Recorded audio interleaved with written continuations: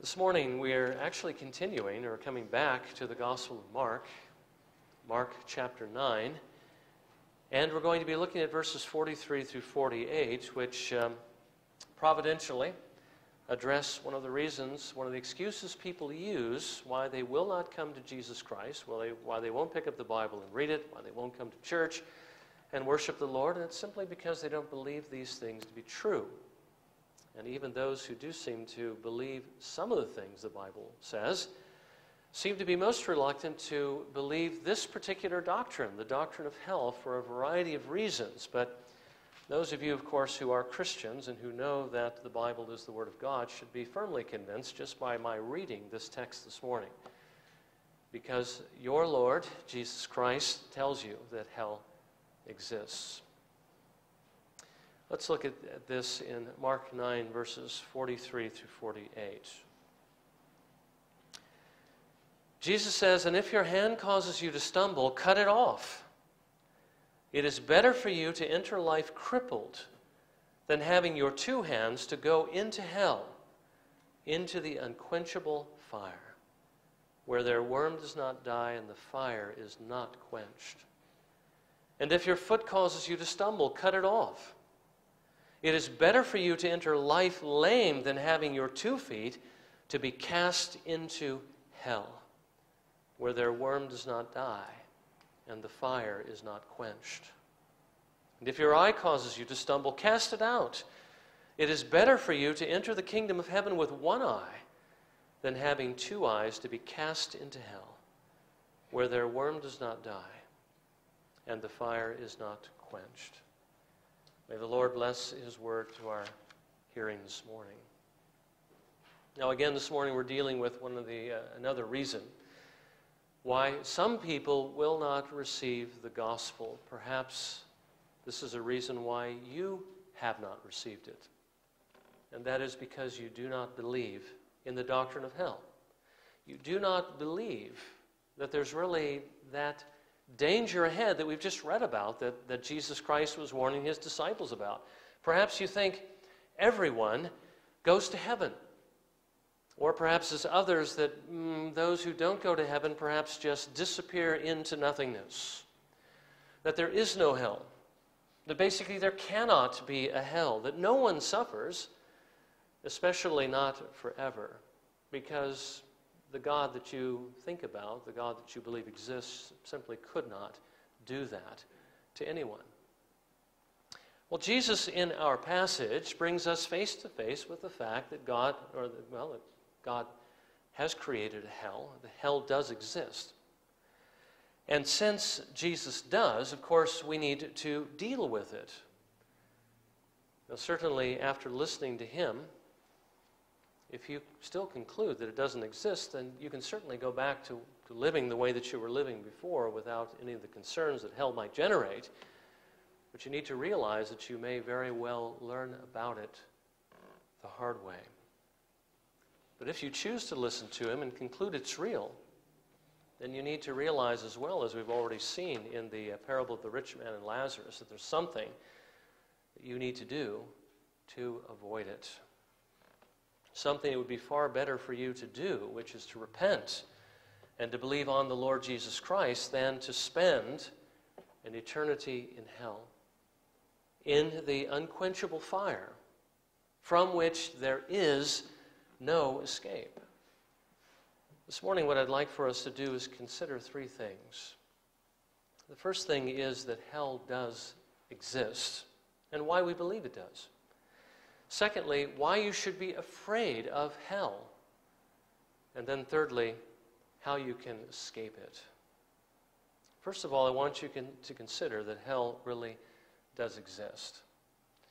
Now, how can I say that that is true, and how can you actually believe that's true, especially in the modern world? I mean, after all, isn't it true that science uh, years ago put out the fires of hell?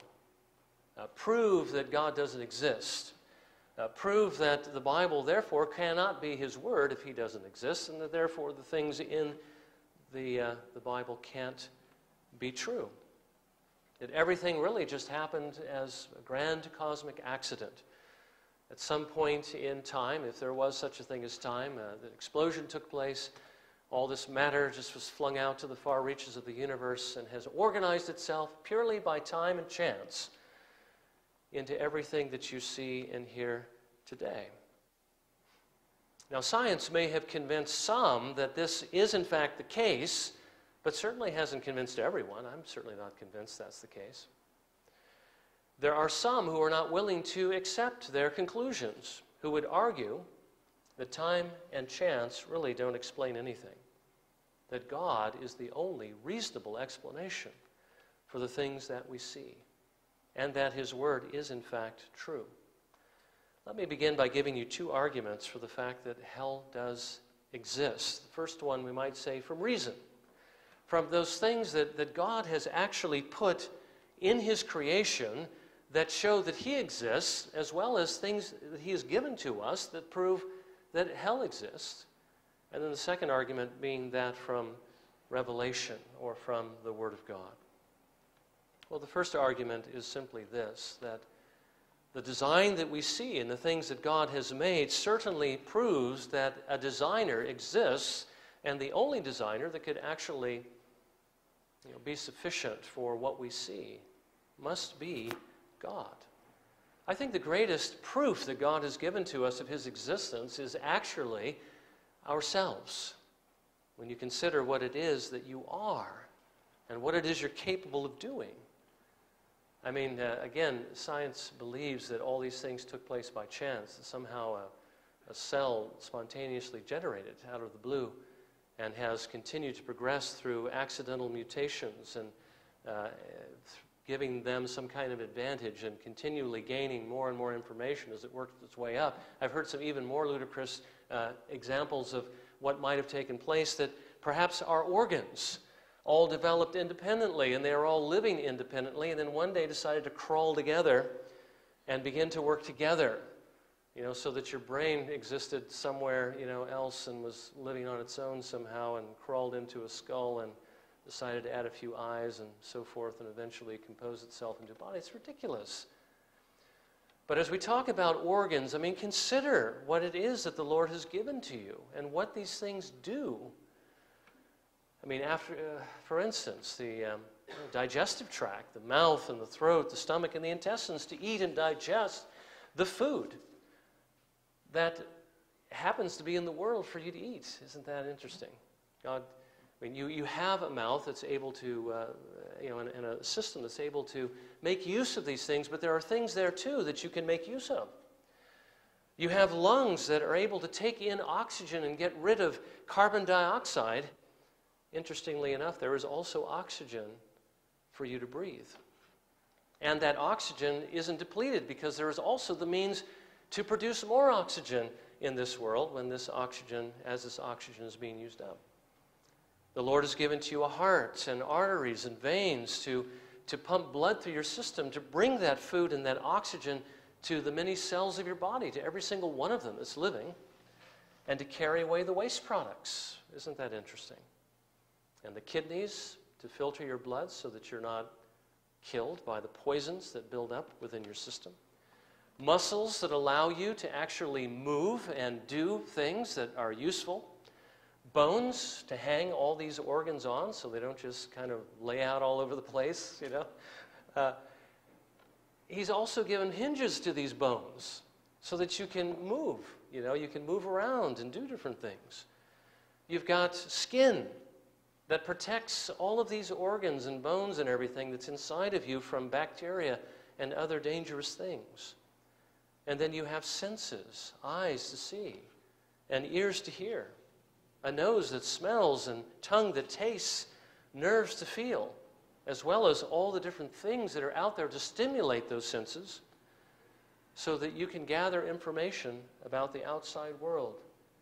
You have a brain that is able to coordinate all these senses and to keep all these organs functioning in time, as it were.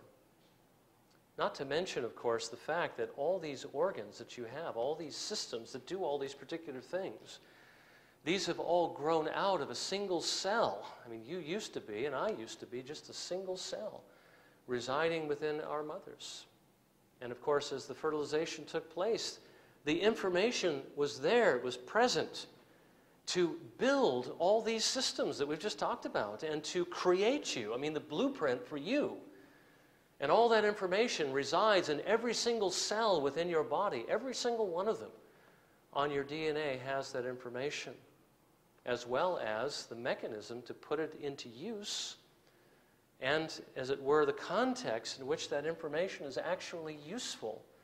I mean, information is only useful in particular contexts, just like you know, English words and Spanish words and German words only make sense in the context of that particular culture and that particular language. So this information only makes sense in a particular context, which happens to exist, and the mechanism to make use of it at the same time to build you and to build all these systems and to enable you to do all these things.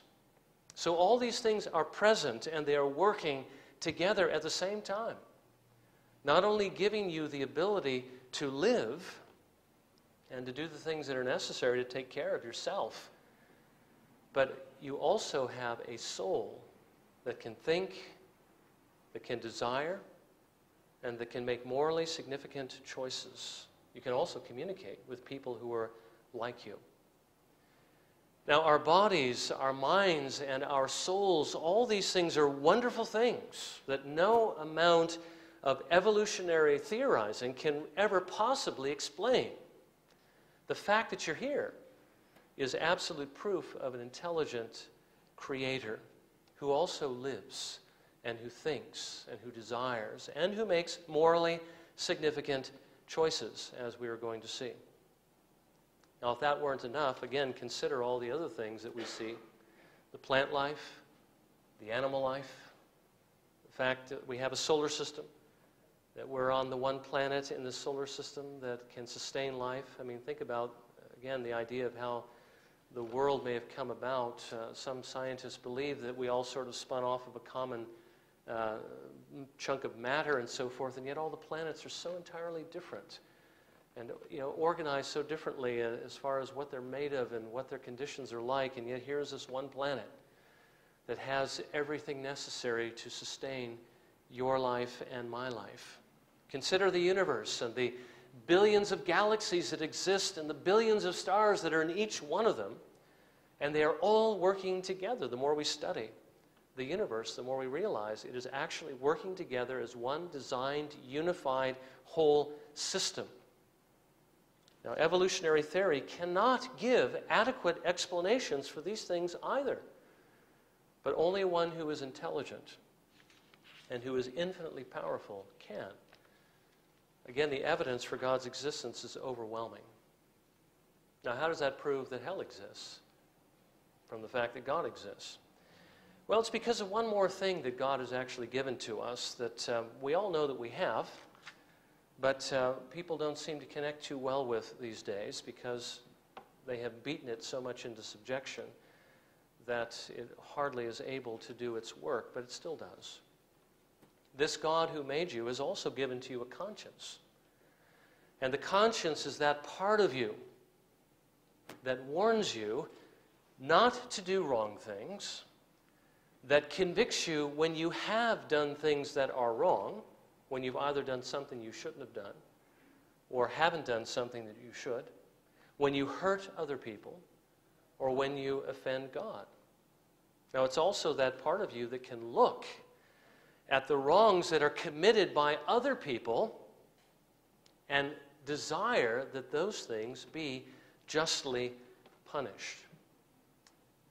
Now, God gave us a conscience. This God that made us gave us a conscience to restrain our sin. That evil that is in us, that desire to do wrong things, so that we wouldn't like the way that we feel when we do things that are wrong, so that we would not hurt other people any more than we already do.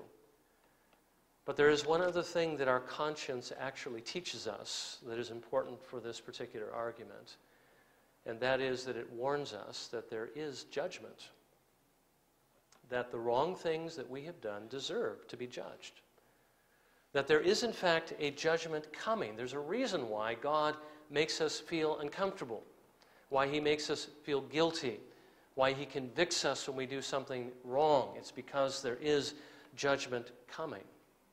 A time when we will actually have to give an account to the one who has made us.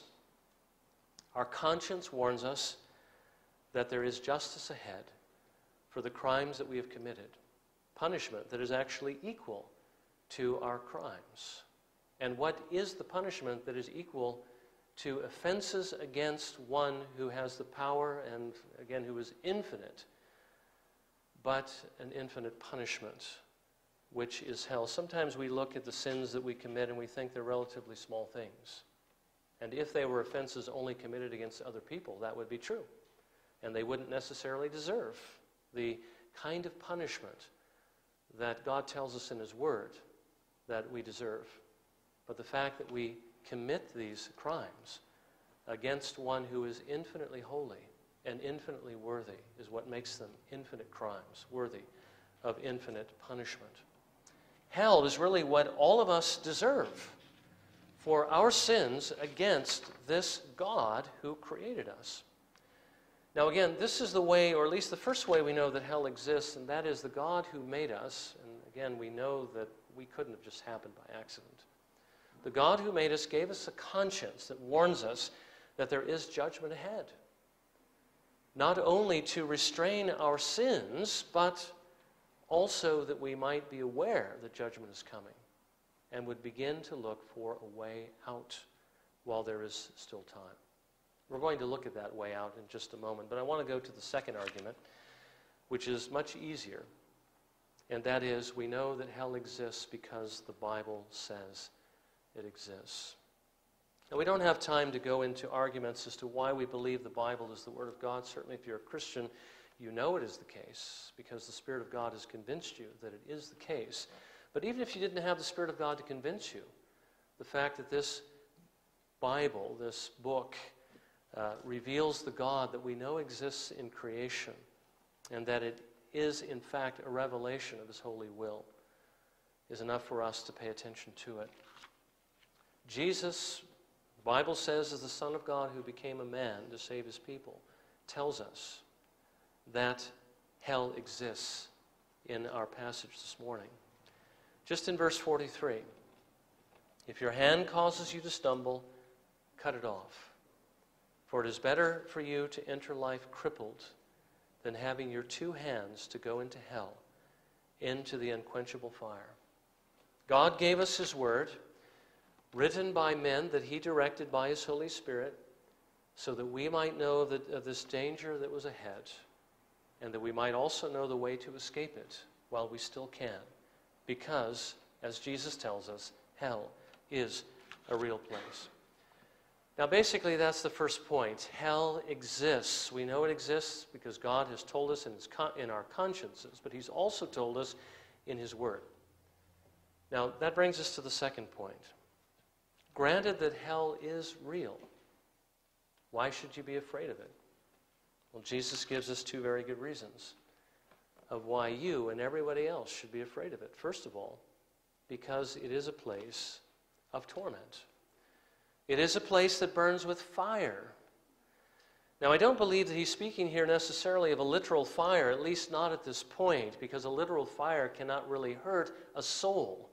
When the rich man died, he didn't take his body to hell with him, he was only there with his soul, and yet he was in agony.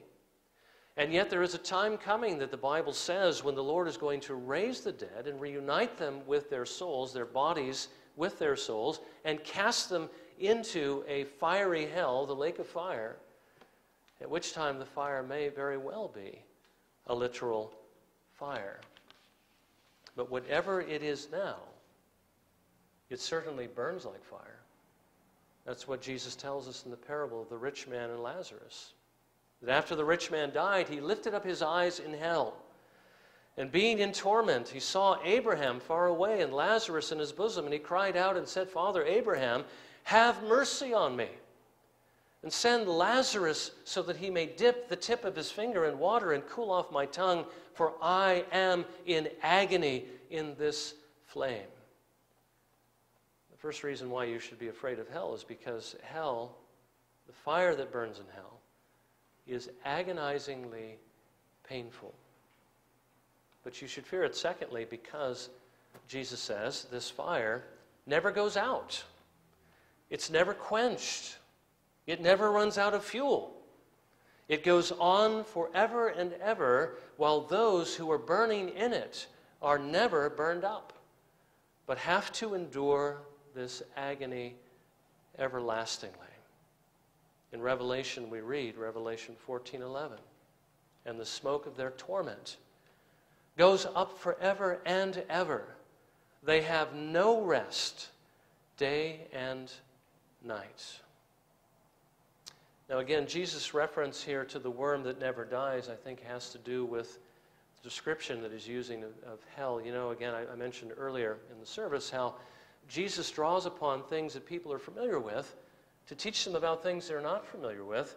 And here, Jesus is actually just uh, using something that they were all familiar with in order to teach them about hell, and that was the valley, what's called the Valley of Hinnom or Gehenna, which is the word behind the word here that is translated hell. Uh, Gehenna, or this valley of Hinnom, is the trash dump that had a fire in it that was continually burning to burn up the trash that people would bring out, of course, to throw in it. But there was not only fire, there were also, as you know, maggots. If you've ever seen a trash heap, you know there's maggots that are always in there as things decompose. Flies love to lay their eggs in there. The eggs hatch, the maggots begin to eat, and so forth. Jesus was using the Valley of Hinnom as an illustration of hell, the fire that never goes out. Now, he's not saying that there are maggots in hell, but what he is saying that there is a place where the Lord throws his unrepentant enemies, basically the rubbish, it's the trash heap, that burns with unquenchable fire. And just as the trash is burned up in that fire, so the unrepentant wicked are burned up, as it were, in that fire, and yet really never consumed. Now, think about this for a minute. Who could possibly endure an eternity of agonizing burning? I mean, we can't really conceive of, of, what it's like. You know, think about, again, fire and how painful fire is. You ever burned yourself? Something that's hot? You ever actually put your finger into a fire accidentally? I hope accidentally if you've done it, but have you ever burned yourself? You know how much that hurts? Consider your whole body burning in a fire. Can you imagine what, what the martyrs must have endured who were burned to the stake? I think that'd be my least, least uh, you know, if I had a choice, that'd be the last way that I'd want to go probably next to being drawn and quartered. But it would hurt. It would, it would be unimaginable pain. But just imagine that pain, your whole body on fire for eternity. Can you imagine that? It's hard to imagine. Again, the illustrations of eternity. I, I think I saw one recently that Thomas Watson, he says, Imagine the entire world being one big ball of sand. And every thousand years, a bird comes by and picks up one of those grains of sand and flies away, and he comes back another thousand years, picks up another grain and flies away, and then consider the amount of time it would take for that whole world to be carried away by the bird. He says, that's just one moment in eternity. And can you imagine how long it would take the bird to disassemble this planet grain by grain? And yet, that's just a fleeting moment of eternity. This goes on forever. I can't imagine how painful that would be, how, how hopeless that would be.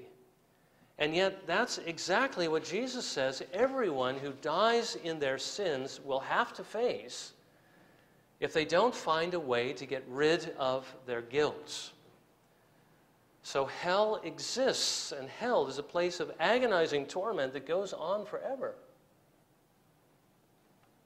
So, finally, the question we need to ask is this How can you escape hell? We need to be thankful that there is a way. And if you're at all convinced that it's real, you'll certainly want to know how you can avoid it. The answer is simple the gospel. And the gospel is the only way. I mean, this is the reason why God provided the gospel in the first place. The reason why God the Son came into this world as a man the reason why he obeyed his Father's commandments, the reason why he went to the cross and bore the sins of his people, the reason why he died and was buried and rose again the third day and descended up into heaven and sat down at the right hand of God. He did these things to bear the crimes of every single person who would put their trust in him. He did these things to save all who would turn from their sins, trust him as Savior, and bow to him as Lord, that they might escape hell and spend an eternity with him in heaven.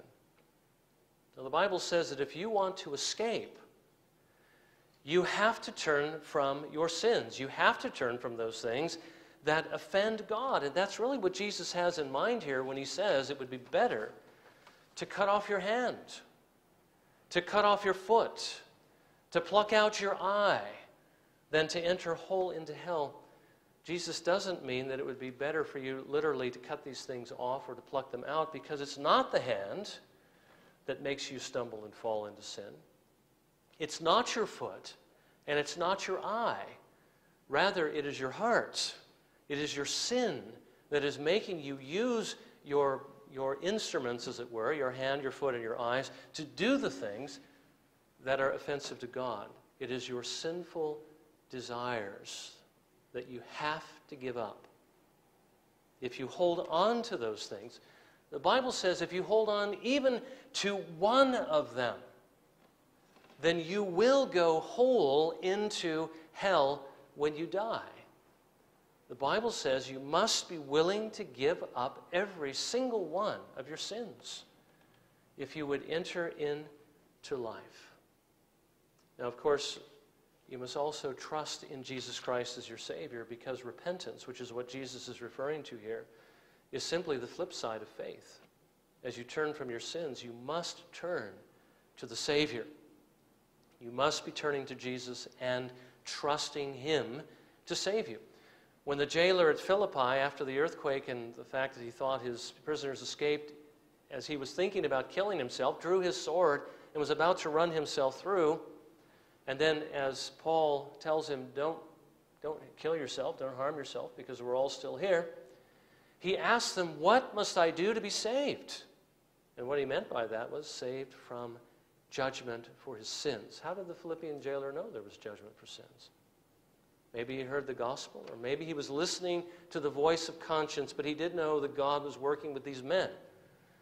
And so he says, How can I be saved? And they said, Believe in the Lord Jesus, and you will be saved.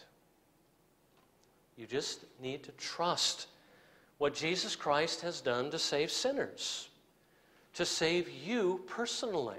It's not enough to believe. You must actually place your hope of heaven upon Him.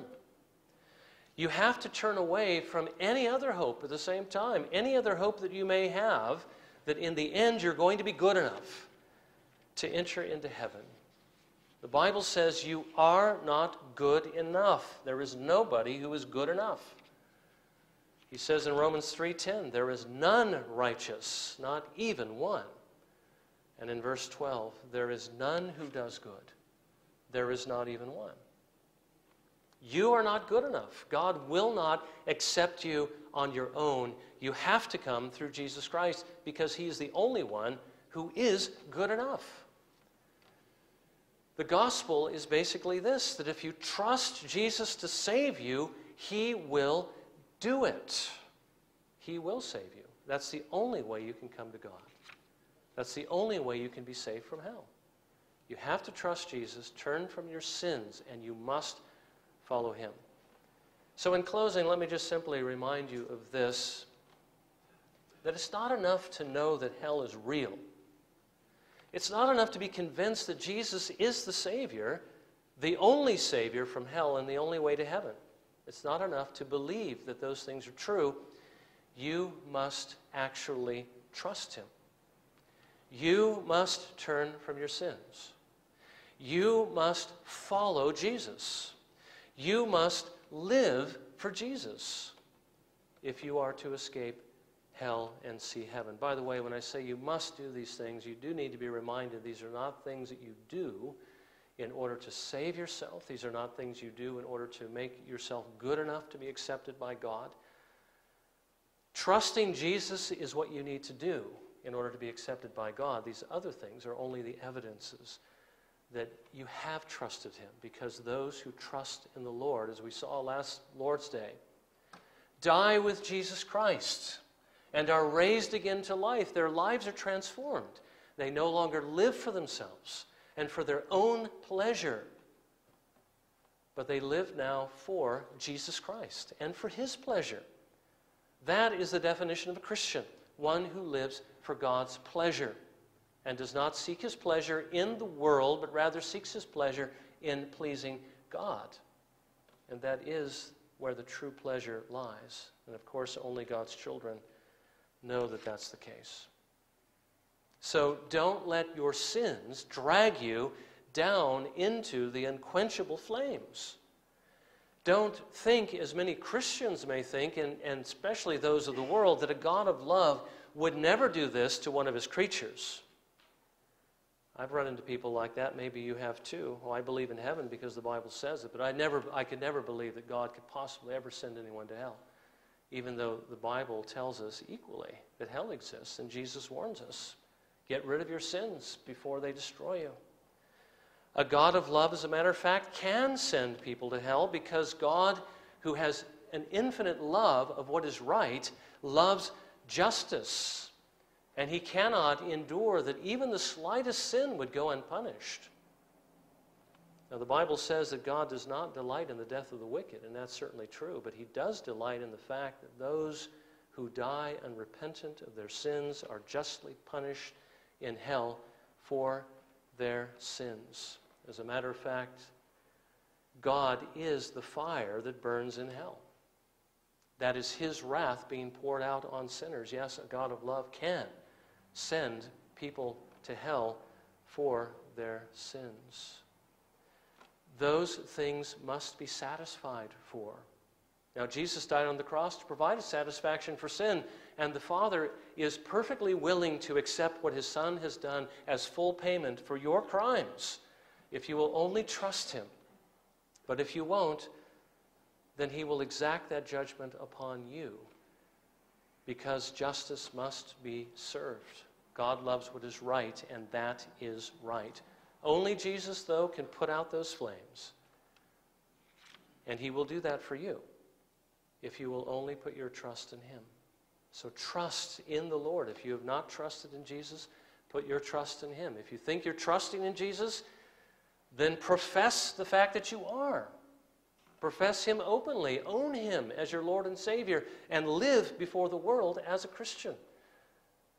That is really the only true Christian, the one who is willing to do that, who is willing to confess Him before all men, and do it so that others may also come to know Him as Lord and Savior, because they're going to die, they're going to perish, they're going to go to hell unless they hear about Jesus and repent of their sins. Somebody brought the gospel to you so that you can be saved. The Lord wants you to take that treasure and give it to someone else so that they can be saved as well. Let's bow in a moment of prayer and let's ask the Lord to take His word and to apply it as we need to hear it